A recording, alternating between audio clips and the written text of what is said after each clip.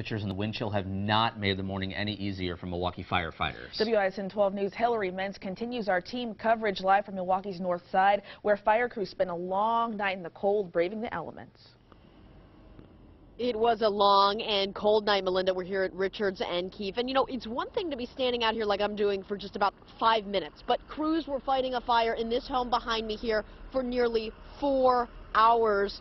And they say that, you know, working in these elements just is it makes a tough job even tougher. Now, the fire broke out in the home around midnight, and you can see the flames there just ripping through the house. You can see that through the window. That gives you an idea of what they were dealing with. And we're told five people who live in this home, they did make it out safely. The fire department says that when it gets to certain temperatures like this and the wind chill, uh, like it was this morning. They bring in an extra engine and a private ambulance to help them out. Crews also rotate and warm up in the rigs, but overall they say sometimes when you've done all you can, the temperatures still present some big challenges. Water freezes. Uh, hydrants are a concern.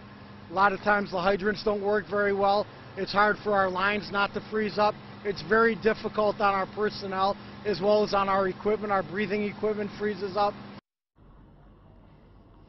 And one thing uh, that battalion chief says he also tells his crews you might not think about in these cold temperatures is to hydrate, just like you would when it's really hot. Crews also uh, strongly encouraged to drink a lot of water when they are out here in these conditions. But no one was hurt, and that's really the good news out here at Richards and Keefe. For now, we are live on the north side. I'm Hillary Mentz, WISN 12 News this morning.